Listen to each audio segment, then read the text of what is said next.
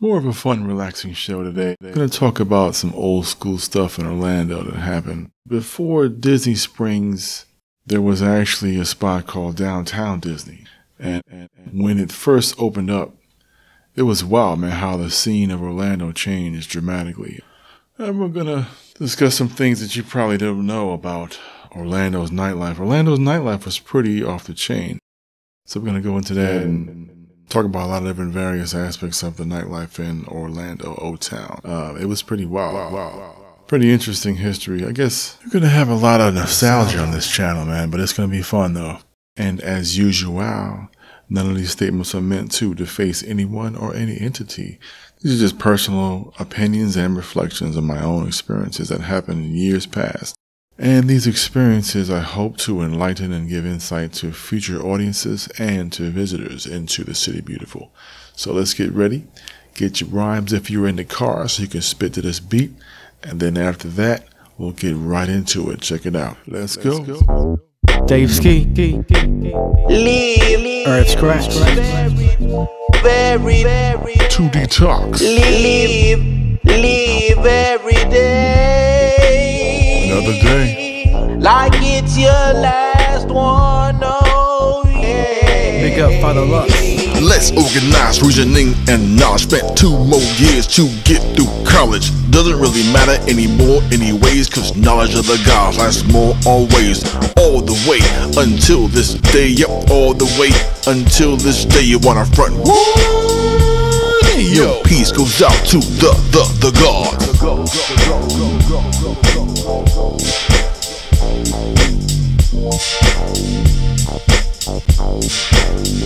Check one, two.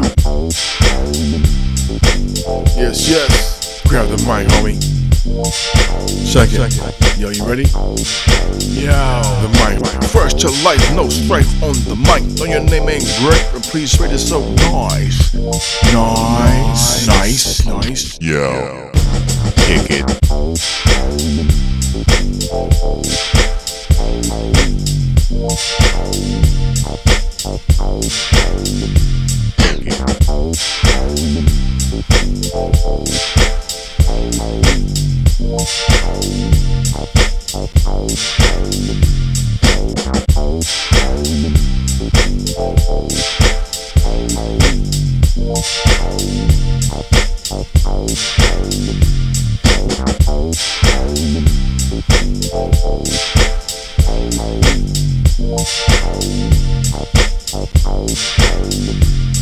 it.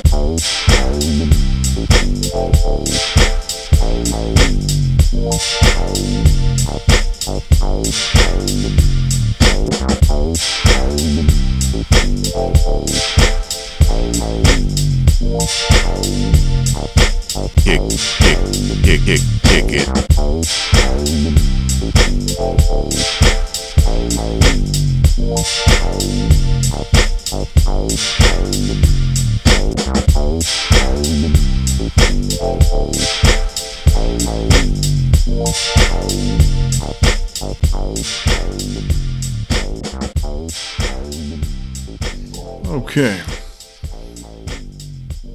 All right. I was living in my fourth bachelor pad at the time of the early 2000s. I was living in my fourth bachelor pad, and I was getting busy a little bit with a dime piece Brazilian broad, bum ass biatch. She used to pass out drunk on the couch after she finished carpet munching, jeans hanging down, ass out, snoring, mouth all open.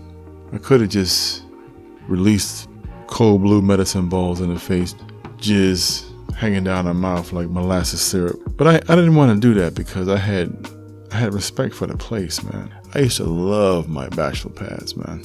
So speed bumps with a relationship when you're boyfriend girlfriend. What does the what does the dude usually do? Breaks out, man. Either goes out, tricks off some cash, or goes out and hits the bars. So one particular night, this is when Orlando still had a pretty good nightlife back in 2000, 2001.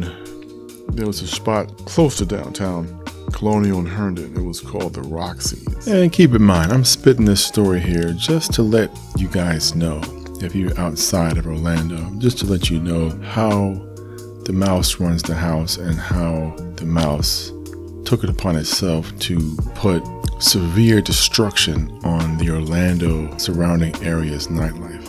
You know, the mouse took Orlando and it, and it crushed it in a way that was it was awful. It was terrible because when you go into that world over there, they really do not want you to leave. They have their own hotel systems. They have their own bus systems. They have a, they have their own work programs. A lot of systems that are in that world. It's really self-contained, and anything else outside of that self-containment, they don't want it. They in a very sneaky kind of a way, they destroyed parts of Orlando. It led up to different wars that affected society. And of course, those wars led to the Wuhan University SARS 2 leak, affected the whole globe. And next thing you know, you have club life before COVID, club life after COVID. And you kind of look at it inside of Orlando and see how it has totally changed into a path that just leaves behind incredible devastation. Keep in mind, now, I'm an old man. I don't know what's out there in the club scene, but I've seen it working inside of the hoteliers and concierge positions at various major hotel conglomerates. And we'll get to the hoes and the bitches and the club scenes in a minute. I just want to set all this stuff up properly for you.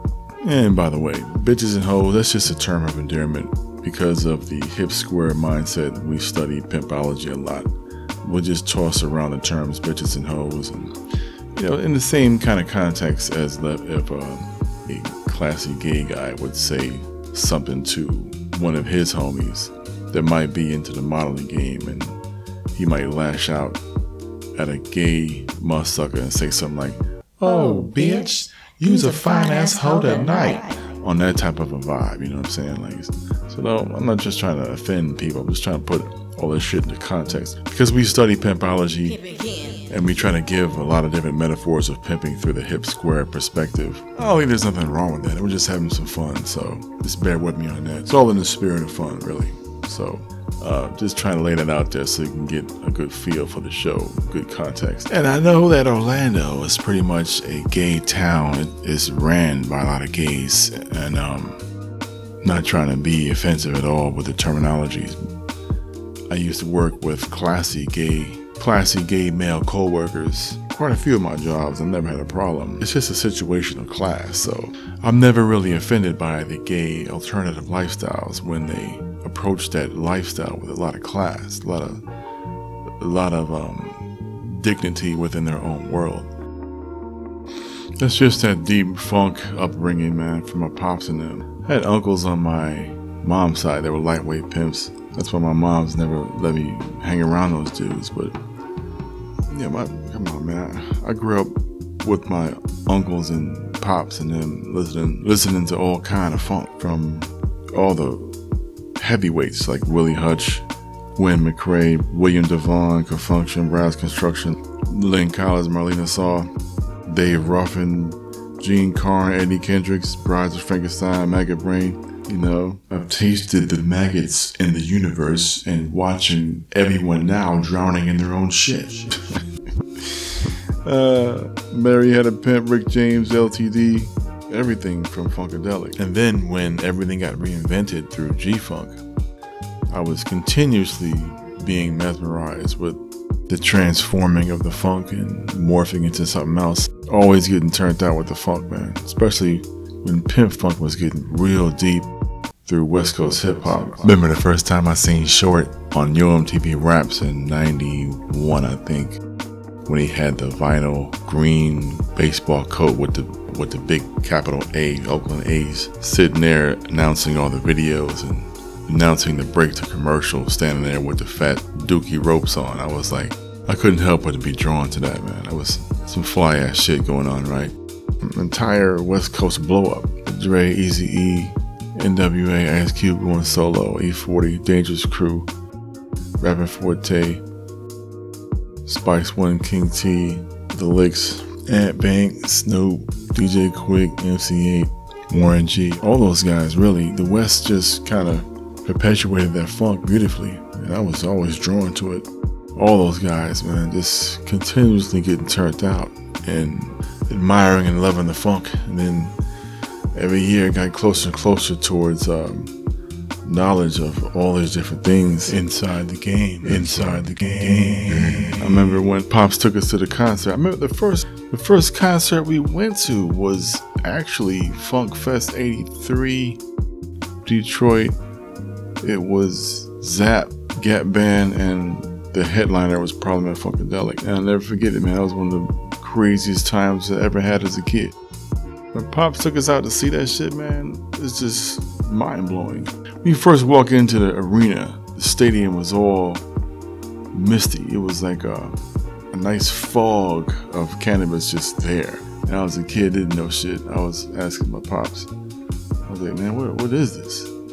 And you know, you think you think I'm kind of bad. My pops was in, insanely offensive if you weren't hip to 40s, 50s, 60s, 1970s black man in America, man. He'd be like, Don't worry about it.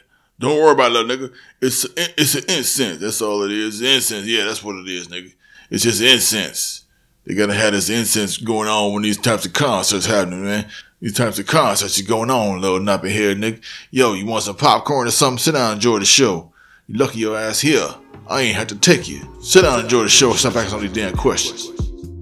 That's my pops, man. So that that impression was not him totally. He was a very affable, calm, regular guy, but when he got into his moods, man, my pops slapped the shit out you just for spitting on the sidewalk wrong. He could get tipsy enough and pull out a rifle and shoot the TV because he got mad at a news story or some shit. But his anger was on the side of the of the cops that shot the nigga or some shit. Like he'd be like, Yeah, hell yeah, you should have shot that fool. Fuck that old nigga. Yo, I'll shoot him my damn self. Give me my shotgun. God damn, I'm gonna shoot that motherfucker right now. Kaplaya. that was the type of environment that I was kind of raised up in. This calm middle class type shit, but every now and then, when cats would get into the rooms, start kicking back those scotch on the rocks or triple bourbons with a gin back or some shit like that. Dudes is hardcore drinkers, man. Michigan, Ohio. These dudes were hard on the sauce. So poker night came around. You better get your sparring gear on there, buddy. You might have to duck a few blows. Something might pop off. Just kind of giving you the real deal here about every now and then bitch and hoe might slide up a nigga mouth, but I'm not. Come on, man. I was raised up on a lot of different cool shit, and it was just fun. Like uh, like a, like an old dad's that movie with Billy Burr, getting some more of his rocks off. Good movie. Just a bunch of old dudes, regular guys like like me and my pops, and all regular dudes that's pretty much almost extinct. How do we get along now in this modernized world where everything is offensive to everybody? Come on, man. We're just regular guys trying to shoot the shit and have some fun. And man, God bless Bokeem Woodbine, but yo, you know, if Patrice was here, man, Billy Burr would have had Patrice read for that part. You know what I mean? That's why you had Rosie in um, F is for Family. Take a good look at that character in that animated series by Bill Burr. That was pretty much Patrice O'Neal right there. Everybody knows it. Every now and then I'll go back and listen to Black Phillip, Dante Nero, and them just to rejuvenate me a little bit, give me some motivation because the guy was just such a regular guy, man, and he hit home with such deep ass analogies on how you should approach man excellence from an FBA standpoint, with a a good amount of machismo still left in you. This is all just presets to the show, just to let you guys kind of chill. I never got offended when I was working around classy gay dudes.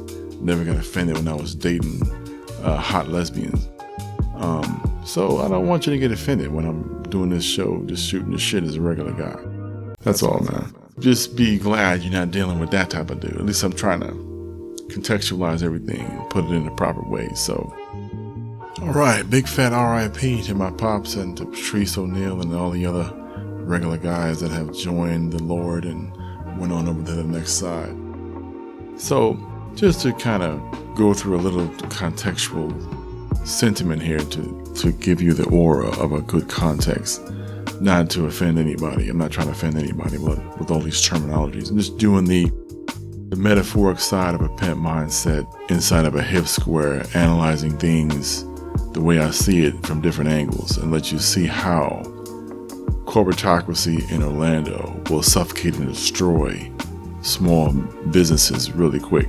So I have to go through these stories and kind of describe things in a street vernacular just to get the feeling of it out there because clubs back in the days, they played their part in taking Orlando down a peg if you're coming from a local mindset. It's a strange way they did it, but it peeped, you gotta peep the angles. So we'll get back to the club scene in Orlando back in the days a little bit, the bitches and hoes in the club scene. First, I want to set it up to where you can kind of sense and gain access to the wisdom that we have on 2D Talks from looking at Orlando and looking how you have corporate monsters, gigantor corporatocracy here that's always going against each other. Universal, SeaWorld, Disney.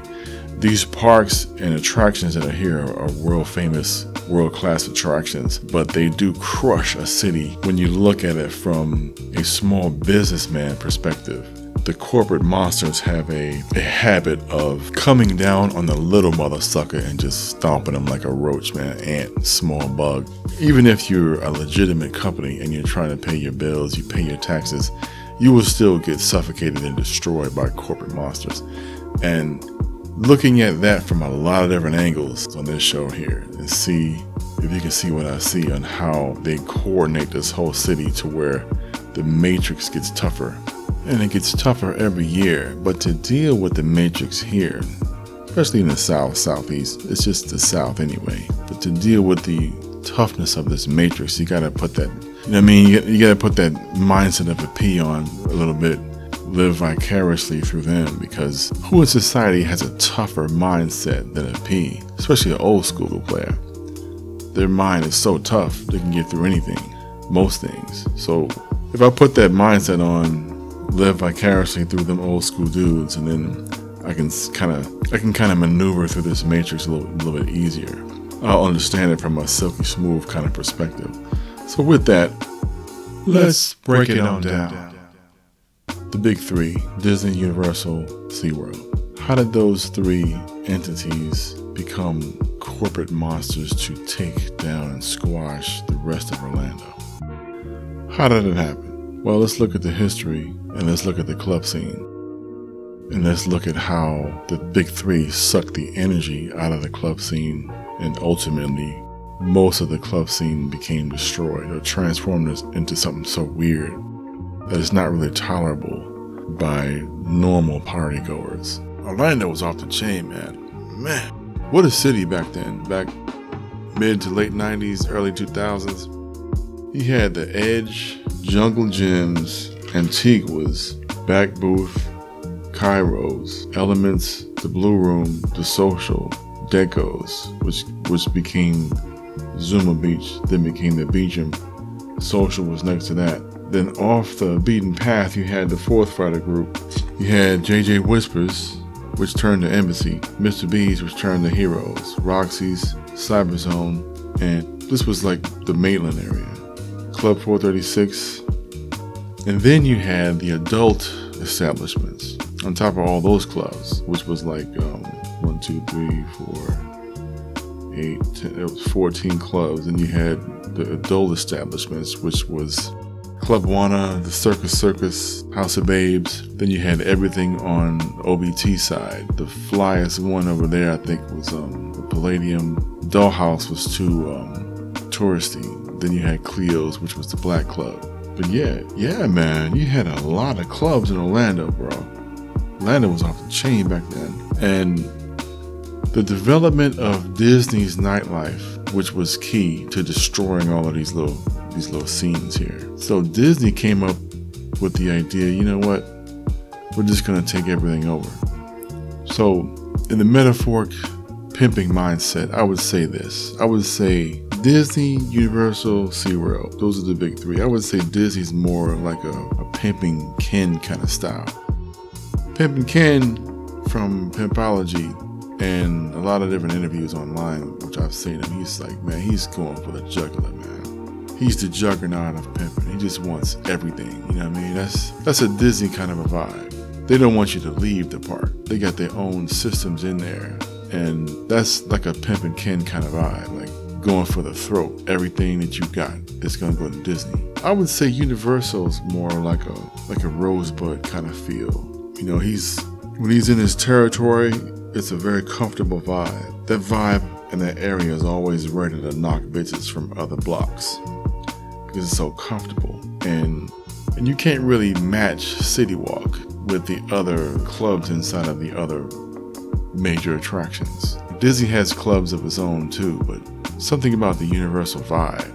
It's more of a cool, suave, rosebud kind of vibe. He had that vibe from that from that book he wrote, American Pimp. It was just a real cool, comfortable vibe that I feel that Universal kind of matches that. And then SeaWorld is like more of a I would call it a gorgeous Dre kind of vibe because of the the soothing water spirit that Dre kind of has. You know, he soothes you a little bit with some really jazzy, relaxing words. You know, the, the water spirit is healing. He'll heal you with these soothing words, man. Very poetic, and then his hoes will never leave. The game of SeaWorld is like you got exotic type esoteric knowledge to where chicks are riding on top of whales and dolphins. that's that's like a gorgeous Dre deal all all day to me, man. Like it's just so damn exotic and smooth and jazzy. The whole SeaWorld vibe is just so damn cool. But these are the, the three that are going against each other at all times. Now, keep in mind, Disney is not even in Orlando. A lot of people don't even know that from other cities. Disney's not even in Orlando, man. Disney is in its own city. You guys knew that? It's in its own city past Kissimmee, a place called Celebration, Florida. And Disney damn near got its own zip code, man. A lot of people don't even think about that. It's not even in Orlando. It's a it's sectioned off way down there in the south southern part of Kissimmee which is more of a reason why they don't want you to leave. Once you get off that block, once you get away from that area, then what could happen? Well, it could lose it could lose his tricks, customers. It could get knocked for his hoes, which is the workers. They could see the vibes of those different parks and then switch up, switch up employment. The area is big. They don't want you to leave the area. Give you enough to do so where you don't have to leave because the area is so big. at five parks inside of Disney. Well, four parks, but there's five big ass things to do MGM, Magic Kingdom, Animal Kingdom, Epcot, and then Disney Springs, which used to be downtown Disney. When they first started to develop it, it was wild, man. They had the big ass Tower record store in there.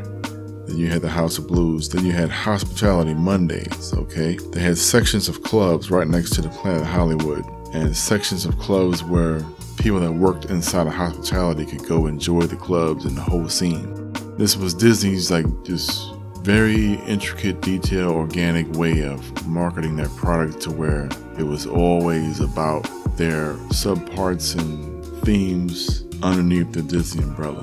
It was tight though. Can't lie, it was pretty tight. I mean, we could just go down there, show your work badge that you worked in the area of Orlando, either with the hotels the airport. Show your work badge, you go in there, enjoy all the clubs for free. You can go ahead and set it off, get live, get fly. That was a tight gesture, tight move. That was the beginning of the move where Dizzy just wanted to take it over. That was kind of a fun move, but then you had other alternative covert facilitator moves, which were kind of which were kind of harsh. Give an example. I remember when there was a spot on McCoy Frontage. It was Frontage Road right by the airport going towards McCoy, coming from the airport, taking the left on Frontage. There was a spot right there, a little dirt road where people could just park and watch the planes come in. This is something that usually teenage couples would do to sit there and talk and chat, whatever. And they would sit there and watch the planes come in. So after a while, you would get a nice group of cars there chilling kind of had that, that vibe of the old school 50s and 60s drive-in theater kind of a feel to it. Couples would just park, man, just chill. So after a little while, you would have what pop up? Well, you had some hot dog guys. The vendors would pop up, man, selling some Franks, Franks chips and a Coke, five bucks, whatever. And they would have their peddler's license. They would have all of their they would have all of their licensing. But after a while, you had inspectors come to the area. They would say something like, guess what they would say? They would say, like, well, this establishment this establishment where you're selling these hot dogs does not have a proper restroom. So these Orlando inspector dudes would keep coming to this area, just pulling out little citations, whatever. You can't sell no franks here unless your establishment has a restroom close by. So then you would just see the dudes kind of get knocked off. They would not try to sell there no more. Another example, I remember we had a table downtown. We were selling knickknacks at a table. They had a little, these little corner vendor stores. We had one. Me and uh, Iz, DJ Israel from um, Insomniac, head editor in chief of Insomniac magazine, world's only hip hop trade publication. So we had a little table down there. We were selling mixtapes, selling magazines, fitted hats, selling the Scully hats, selling all the masterpiece stuff, no limit um, records. Some of the, some of this, some of that, some of the masterpiece stuff, some of this other stuff. The best the best items that were selling on that table were check it. It was the camouflage do rags and the no limit CDs. Every now and then, 5 would show up at the table and demand that we show them the peddler's license and the agreement that we had that we had with the building in order to sell trinkets there. So the frequency of Popo would show up, you know, once a month, then they would show up twice a month, then they would show up every week. Every time we set the table up downtown to sell these items, cool little moneymaker table here. Every time we set the shop up, Popo, Popo show up. Is he's getting sick of this shit. He was like, "Yo, man, how we gonna how we gonna comfortably sell these items to any guests that approach the table when Popo's always around?" Which was true. It was like you know the crowd that was trying to buy mixtapes or hats, fitted hats, trucker hats, New York Scullies, the Scullies with the burrow on them, or even even the No Limit stuff, the magazines. People that would try to buy those types of trinkets, man, they weren't really how you, how you say this? Some of them guys were sketchy. They just wanted to get some camouflage do rags to match the Timberlands, or some something to that effect. These dudes didn't really want to go to a table where they know Popo was always around the table. You saying? So that was just it was whack. The vibe was whack, and then we were trying to put two and two together. It's like, yo, man, the city's changing. Disney don't really want nobody outside of Disney, especially if you're making money outside of Disney and there was there's a spot right by Disney. There's a roadway that's full of off-brand hotels. The roadway is called 192. Used to have these funky motels over there. It was a Viking motel. I think there was the Sun Motel, a couple of other ones. Man, they just got squashed. All that message is whack, corny. They couldn't afford to keep those businesses open because of the Disney takeover. The ones that stayed open over there from 10, 15, 20 years ago, or the ones that are on the 192 right now, which is West Irlo Bronson Highway, you know, those are all like mad two star, two and a half, three star joints, man. Just whack, bottom of the barrel hotels, man they just can't make a dime over there on that side of town because it's too close to Disney and Disney just keeps trying to shut all that bullshit down. This is how it is. It's like a, it's kind of like the the blob kind of feel. It just kind of swarms and and bloop, bloop, bloop, swoops you under, man. You can't do no business when the big Mick is trying to get his pockets fat. He'll squash you out, take over your block territory, and take all your customers. This is how it is. This is how it is down here, man. That's how it was. Just pimpology like a motherfucker, man. Straight up. Yeah, so you had some of the clubs downtown, especially little lounges and stuff, had to close down because they kept moving the ordinance back from four o'clock to three o'clock to two o'clock to one o'clock.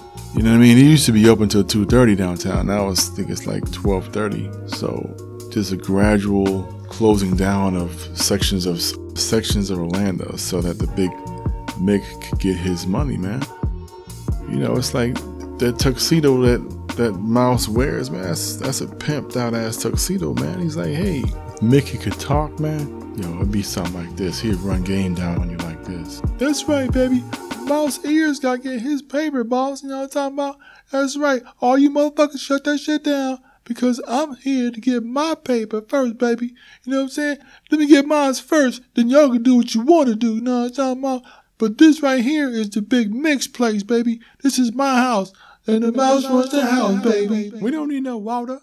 Burn, motherfucker, burn. Mac of the year goes to Steamboat Willie. Steamboat Willie. You damn right, bitch. You damn right. Yes, indeed. Best believe that, bitches. That's what that's what Mickey's saying to everyone, man.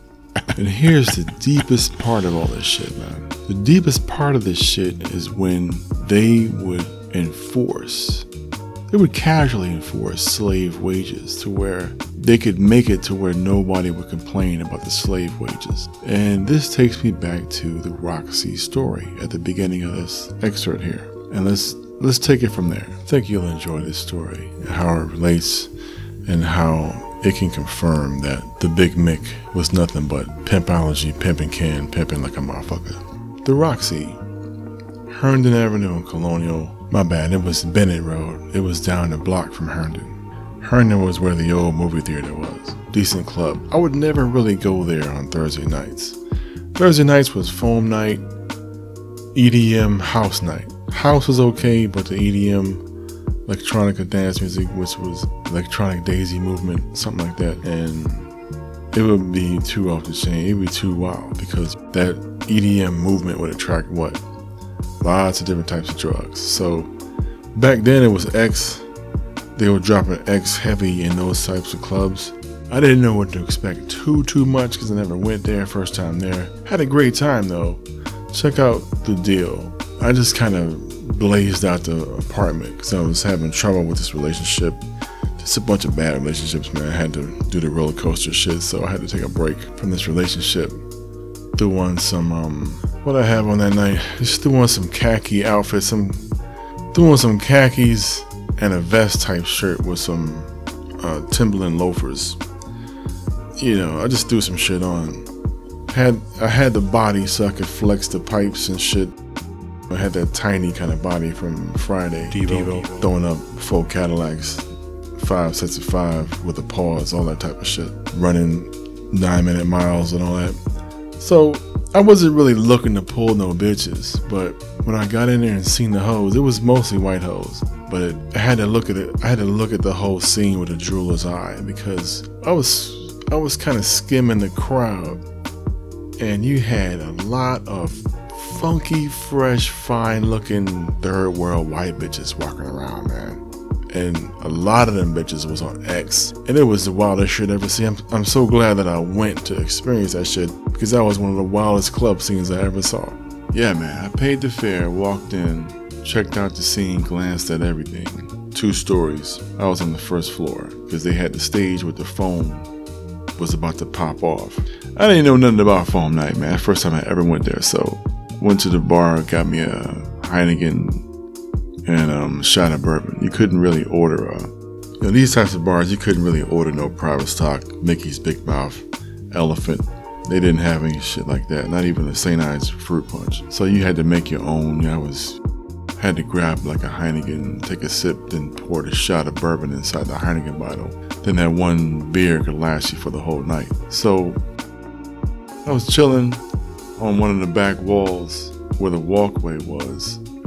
One foot on the floor, knee bent, the other foot on the wall. You know that type of pose, right?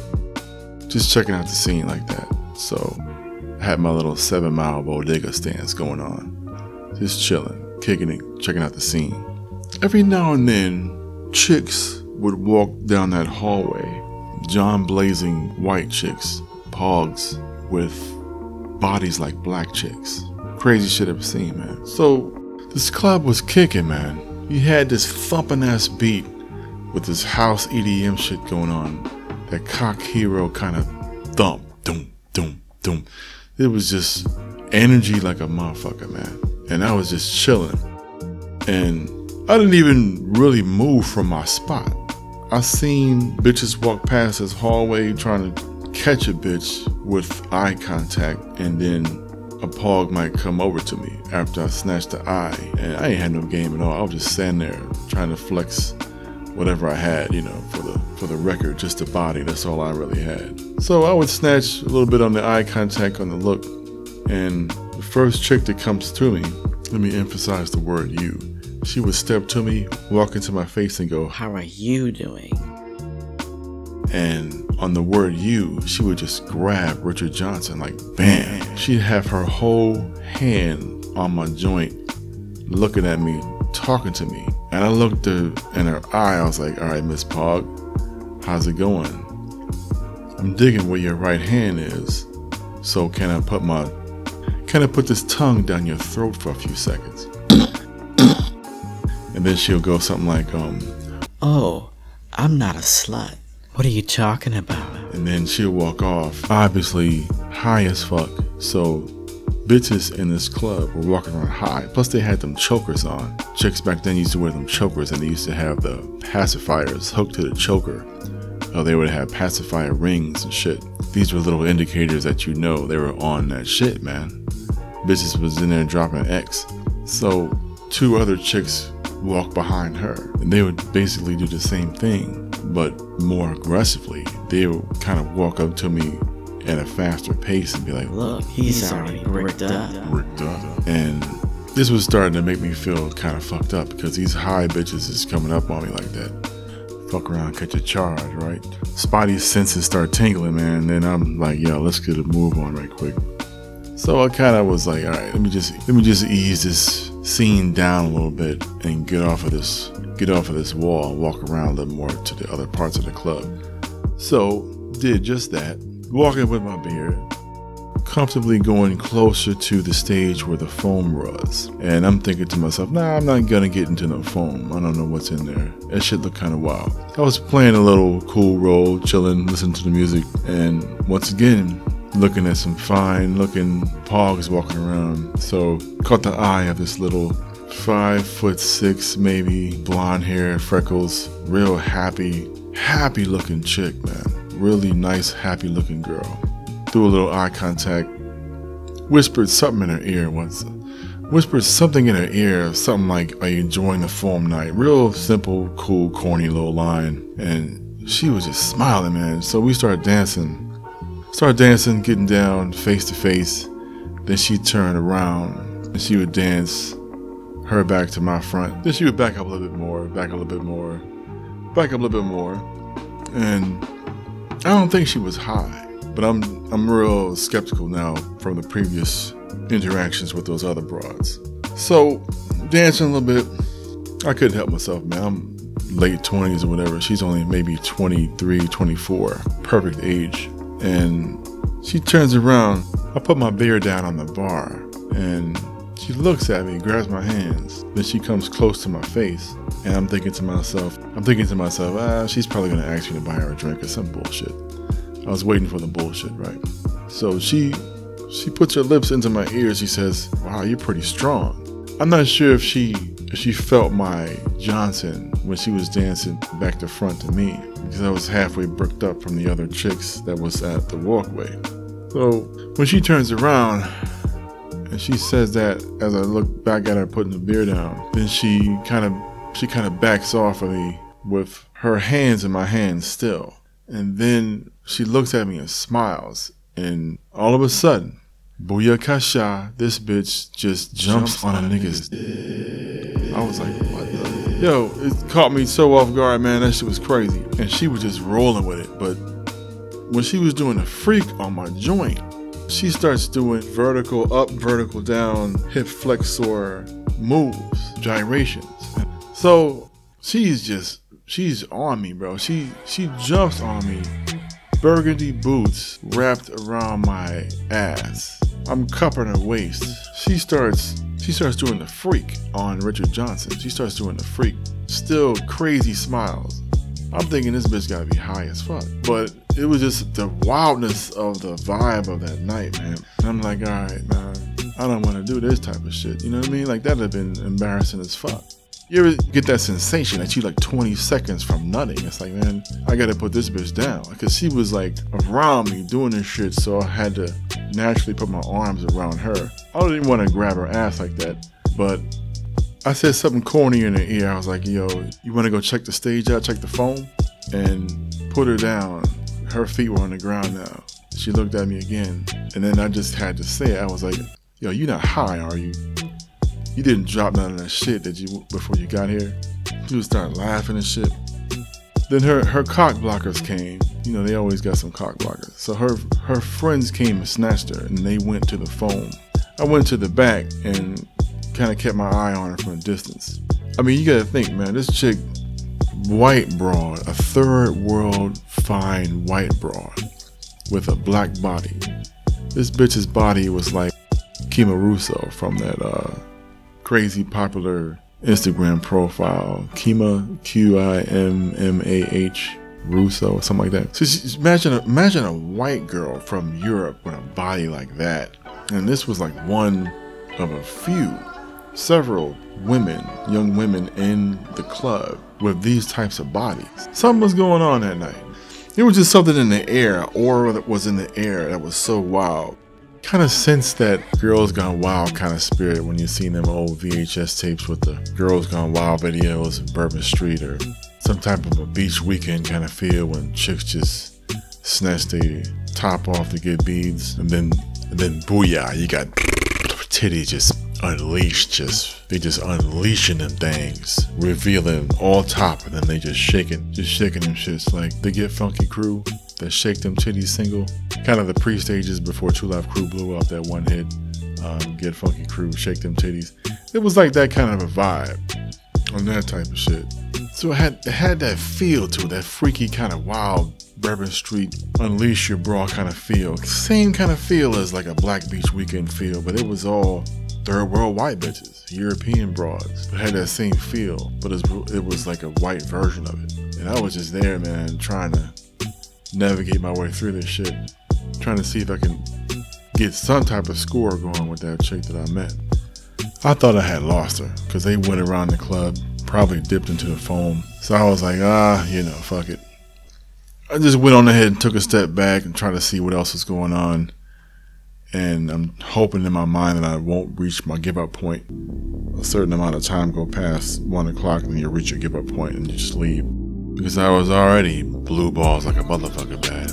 Went to the damn Olympics to the Olympics. Balls requesting songs now, like Chet Baker, Born to Be Blue, Blueprint, requesting some jazz greats, Paul Desmond, Feeling Blue, or Chet Baker, Almost Blue, Blue Ballaholic, Blue Bonic Plague like a motherfucker. Two fat smurf bellies. But I was walking towards the exit. Luckily, I actually seen the girl. Jumped on my joint. She was still smiling and laughing. I was like, yo, you know how you put your thumb to your ear, your pinky to your mouth as a gesticulation for the phone. So I was like, yo, let me get the number or something. Let me give you a call. Got the number. A sigh of relief in my soul was like, yo, finally got a, a connect. Maybe I might be able to get a good score on this. So, call her a few days later, try to set up an initial meeting. Set up the initial meeting, and she says she's living at the park. I was like, what? First time I ever knew this type of shit was going on in, in the mouse. So I went to go see her. Didn't know where I was headed. Went down into the park. It's the same old type of deal, man. Locals, we don't ever go to the park at all. Not too much. Once every blue moon because Big Mick wants that paper. So you're gonna be dropping three, or four bills anytime that you go out there. Unless you go in the House of Blues or Disney Springs, which is like a casual kind of outside plaza something like that where you could shop and stuff. So going into Disney looking for the barracks, the Disney International Program Lodge. They used to call it that, the, the Disney International Program. So I'm looking for the lodge. I find the lodge, the dorm of where these young ladies are staying. What a scene, man. Finally find the chick.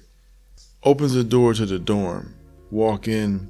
I see Soul Brothers coming out of the spot, laughing and giggling. She's coming out with a hot looking sweatpants, tight belly shirt deal with the knotted up thing where you can see the stomach. Alcohol bottles laid out by the sink. It was a it was a plush dormitory. And as you're walking through these different styles of barracks, from line to flying, man, all I see is fine ass third world white bitches. Czech bitches, Prague bitches, Brussels, breezy, Serbian bitches, turkey, subs, hot ass snacks, curacao bitches. I'm like, alright. I kind of knew what was going on, but years later, copped all the wisdom, and now I know what the hell was going on. You see, Disney is in a constant promotion of princesses. They continually promote this aura of Princess mores. The Big Mick has to make sure that no other conglomerate can beat them at the princess game. That's their hustle, main part of their hustle. You know what I mean? Giselle, Tiana, of course, Cinderella, Pocahontas, Nala, Rapunzel, Aurora, you know, Sleeping Beauty. You got then you got Belle from Beauty and the Beast, Ariel, Jasmine. You have these cartoon characters, and then inside of the park, they bring these caricatures to life in real tight aerobic young female bodies, right? This is what they're constantly promoting. So the aura, even if it's not a, a cast member with the costume on, you have to have that aura of yo. This princess is always walking around in all parts of the park. Even though, even though they might have on a regular cook uniform or a hostess uniform, you know, Disney wants to promote that princess aura. So they yo man they gotta look bad. They gotta be baddies. This is mackin at its at its highest level. You know every woman that works in that park has to have princess potential. You know what i mean? Even though they might not be a cast member hired in one of the princess roles it's just that aura because they are the masters of the princess game and of course they have their villains you know disney you know disney movies got them villains in it They're gonna sell that sorcery a little bit too. But their main game is that princess game, and princesses are not really a big pile of bar hacks, man. No sir. They gotta have them bitches looking fine, man. Straight up. Especially when they're alive inside of the parks as real human beings. Alright, so Lithuanian broad. Short, 5 foot 4, 23 blonde hair, freckles, body like Qimmah Russo. Tight, incredible. But guess what she's really doing in Orlando? Guess what she's doing in America? You know what I mean? This is this is the this is coming up on the disadvantages of these international programs at Disney. Sometimes that corporate gigantic monster might overlook these little nuances where these females might be in trouble in their home countries. And yep, she was. Something happened to her dad and he was going through some mishaps with the Lithuanian police and she was trying to escape something. Don't really know the details, but that shit was an adventure when I was hanging out with this with this chick. So, but she's going through pandemonium, so I'm taking her out to get her, you know what I'm saying? Instead of taking her out on a date or whatever, I'm taking her out to get her paperwork, like her regular ID or whatever. She's trying to do some things in here, and and the only guys that would help her out seemingly were just soul brothers, man, because you know, their fantasy will always kick in. You know what I mean? Like Disney, man, it does it does have a sexualness to it, man. Like, see if I can explain it. Like these types of chicks, man, the international program from Disney.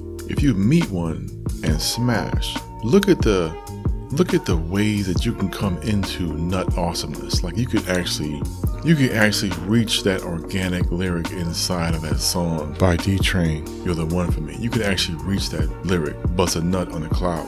Imagine yourself as a regular dude winning with one of these types of chicks with incredible princess potential. You smash, pull out, bust a nut on a cloud, and you just entered into some wild enchantment kind of fantasy where you you giving pearl necklaces to Disney princesses. It's wow, man. It's like a there's a crazy sexualness in Disney that most regular dudes know, but they'll never try to discuss it or talk about it because it's too it's too dangerous, man. Orlando has this this code, man. You you got to really be careful when you're talking about the Mick.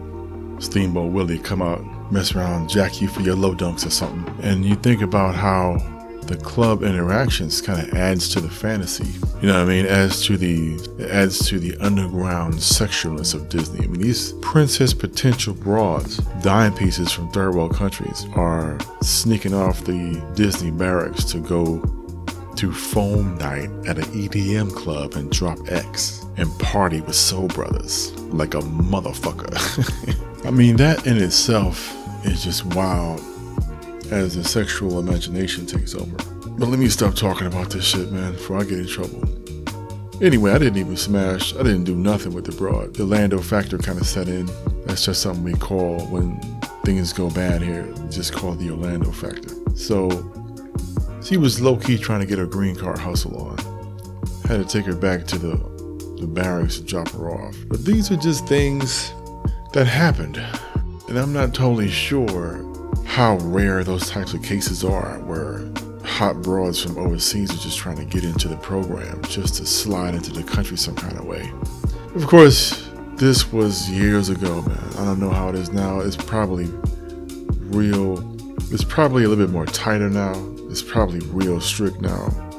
Not sure how they working it, but from what I see, it from what I see online today, they have photos every now and then. They'll show photos on other types of websites to let you see princess potential type broads, and they're all walking in the crowds chilling. Yeah, so that was another Blue Balls Olympiad right there. Got the Blue Balls Olympic medal right there all day. You know what? Let's get a quick intermission and then we'll come back with a story about a typical party night in Orlando and let you see why they had to shut this motherfucker down, man. Straight up. Stay tuned for that.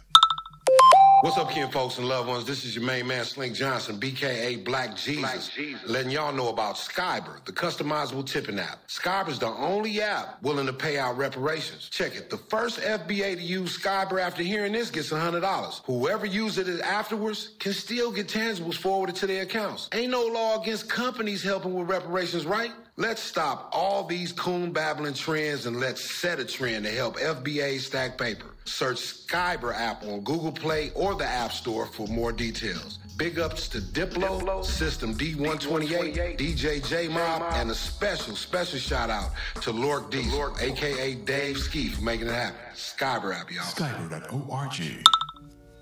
Batman on the beats, by the way. Big ups to Batman. Big up also Father Lux for pointing that out. He's like the almighty YouTube digs, the master of digging up all kind of stuff on YouTube. Big ups to Father Lux. Sliding me all the beats. But yo, one more quick story, then we'll finish this out. Mid 90s, my favorite era. This is the reason why they had to shut all that shit down, man. Orlando was so damn off the chain, they had to shut that shit down. Keep in mind, man, Orlando got two mayors. You got the city mayor, which watches the airport money, the county mayor, which watches the money of everything else. Then Disney is its own entity, it's its own city, so they watch their own money. You gotta think about that, right? When Disney calls a shot in a covert manner, Orlando shuts the shit down because that's the number one moneymaker. Think about it, man. Orlando Magic ain't never gonna have no championship team, man. Because if they go that far, they'll take money away from the mouse. Mouse runs the house, man. You know what I mean? Alright, so you know what? I don't want to go over an hour, so check this. We're gonna do a part two to this episode. We're gonna keep you in suspenders for a little bit, but I'm gonna leave you with a disco record that kind of gives you the the spirit of Orlando. It's Dave Ski, man. It's my little town, you know. So we'll go ahead and exit out of this episode with a little song. This is called The Mousetrap, the roller skating rink remix. And then just look for the part two, and I'll go ahead and crank the whole part of just me hanging with the Dominican posse, going out with the Boricuas, co chilling like a crew with the juice, co chilling with this crazy posse that we used to run with all through Orlando, through the nightlife in the mid to late 90s. So, y'all go ahead and click on part two when you're ready, and I'll go ahead and um, let you do a comparison and contrast of nightlife then to now. Let you see the differences. All right. Peace out. One love, Dave Ski. Takeaways from this show the mouse runs the house always, and they market their products, man, strongly through sexual subliminals in all their movies, through the Princess Game, and sometimes even through third world white girl magic. And when you come over here, if you're a tourist, it's Kissimmee. That's how you pronounce the town that Disney's in. It's called Kissimmee. And just bring a nice couple bags because the mouse, Steamboat Willie, is the Mac of the Year every year here. And he's the epitome of what Roddy Mac always says, man. It's, it's about, about, the money. money. All right. One more little quick gift. If anybody guesses the break to the song, you know, I'll, I'll shout you out, give you a prize or something like that. Disco break, the mousetrap.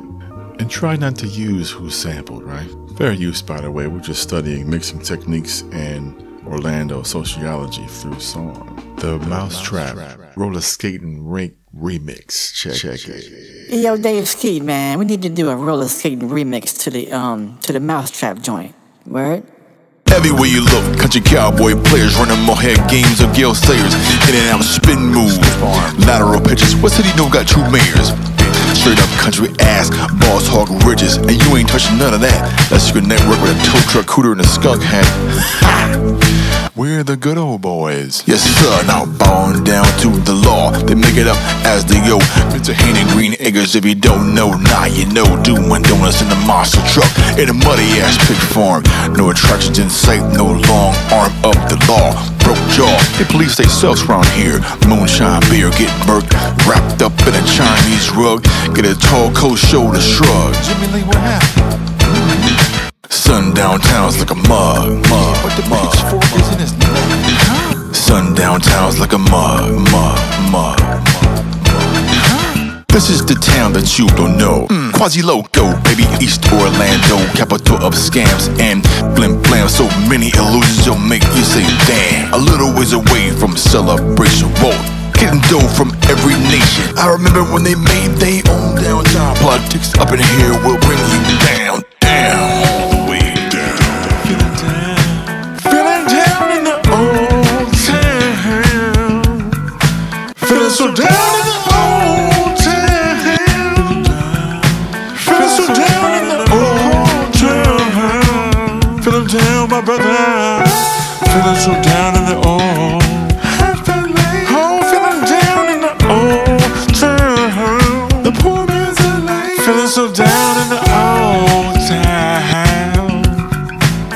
Feeling so down in the old. Some Latina sugar draws might pick me up. Uh. Little tip, stupid stink money. Word. Ownership, mover, shaker money. Okay. In order to get to the ladder, gotta understand the fact of the matter. Cool stuck, coon, quicksand batter. Corporate ladder ain't propeller, no Don Dada. Only thing served on vertical integration Caesars is LBG grilled cheeses. Jesus. Is that my pinto bean? Gotta stop fighting over little bitty pieces. Pearlman, already rich in the boy bands. Pulled off one hell of a scam. Trans, Continental Airlines, wham. Ophase lost mad cash. Lou Dash, caught with the Indonesian rash. Hard to swallow as he's sitting in the hefty bag. Pull him out round 200 million dollar. Holla at your boy, Wilhelmina telling scout, yo, chips ahoy. What you think you are? Clocking G's, please. Can't nobody tell you nothing seen. Got that dream to be the model of the century queen. So strut like a sexy bitch. Go ahead, doc, and walk that catwalk. All together, showing off for one another. Yeah, but where's the G at you paid to get in? Fantasy rock to go rock it.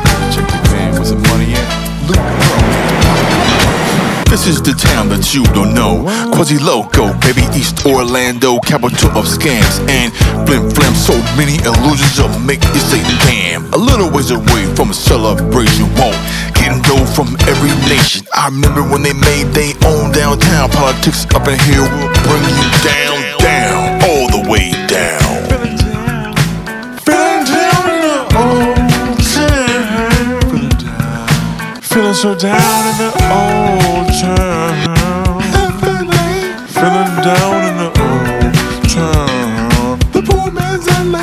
so down in the old town. Feel how my brother.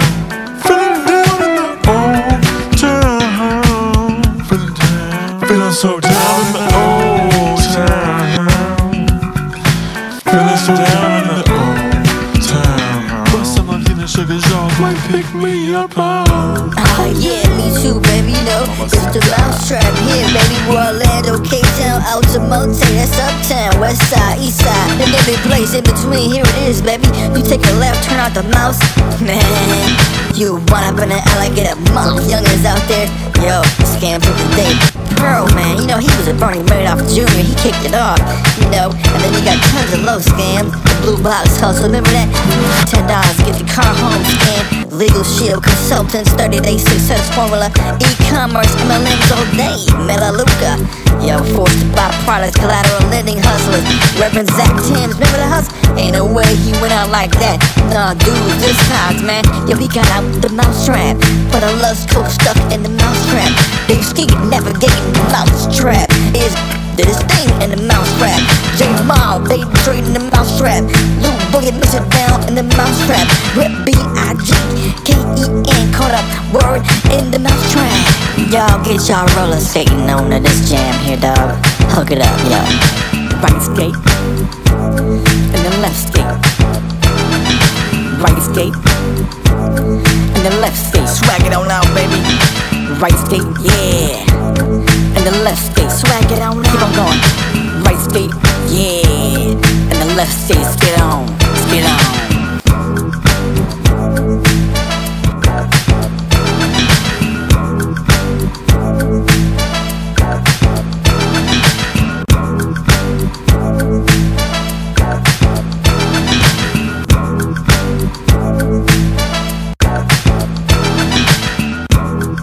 Shouts out Father Lux, Earth Scratch, The Chulo, J Mob, System D128, The Insomniac Posse, Dr. Westlake, Batman, and J Smooth, Border Beats, Real Soul Candy, all the big dudes, Star Report, King Flex, Boyce, and all them, and Dub C, CJ Mac, Dave Ski, One Love, I'm out.